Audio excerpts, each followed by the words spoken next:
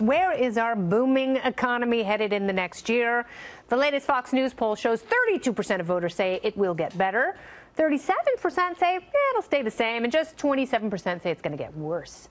It's no secret that it has been on an upswing. GDP grew 3.1% over the last three quarters, and the Labor Department reported the fewest number of Americans on unemployment in 44 years. My next guest says it's all thanks to capitalism, the free market, and President Trump. He's the author of The Capitalist Comeback, The Trump Boom and the Left's Plot to Stop It.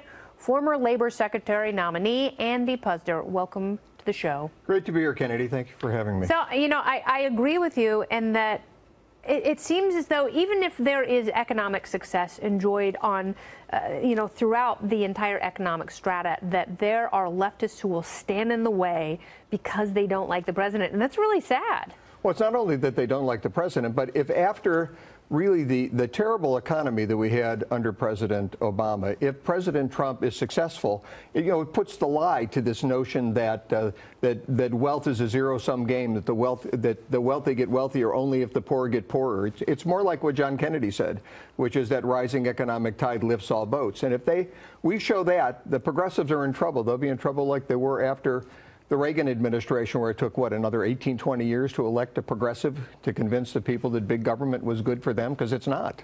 No, it, it's absolutely not. And that's where you get more regulation. And, you know, I know you've taken issue with Dodd Frank. Oh, yes. And, you know, these big banks are essentially getting a pass from legislation that was supposed to protect consumers and was supposed to protect small banks, but it has done neither. Now, this is, I mean, I talk about this in the book too. I, I ran a big company. I mean, it was 100,000 employees. We are in 40 countries, 45 states. But it was a big company made up of small companies because we had a lot of franchisees that had, you know, between one and maybe 100 restaurants. Wow.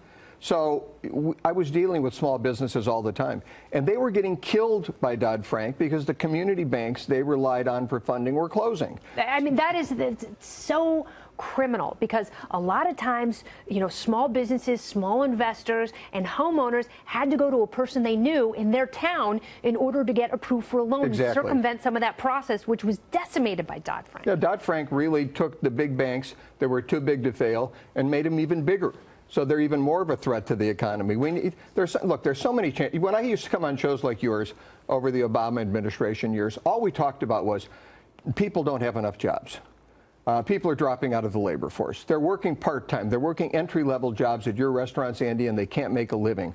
Well, that was because we didn't have real economic growth. If you think about it, in the past 16 months, we, President Trump, with his, with his capitalist approach to the economy, deregulation, taxes, encouraging business, we, that's been turned completely on its head. You pointed to one statistic. We have fewer people on unemployment benefits than we've had in 44 years. We also have more job openings than we've had ever. And, and what has happened to the labor uh, participation, the labor force participation? Labor, part, uh, labor force participation rate has held, but the percentage of the population that's employed has gone up. Yes. We have more people employed than we've ever had and more job openings Would than we've ever had. Would we have this kind of GDP growth under President Hillary Clinton? No, we would not have had this kind of GDP growth. But the point in all this is the problem now we're facing isn't people looking for jobs, it's employers trying to fill good paying positions because they can't find employees. This is the capitalist comeback. This is what I wrote yeah, about. so naturally wages go up when you're wages, out looking for good people to fill those positions. Wages will go up and even the CBO, which is really kind of a Keynesian approach,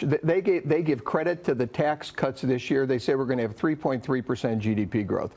As you say, we've averaged 3.1%. Uh, President Obama's last year was 1.5 percent. 1.5 for his last year in office. Uh, socialism, progressive policies do not work.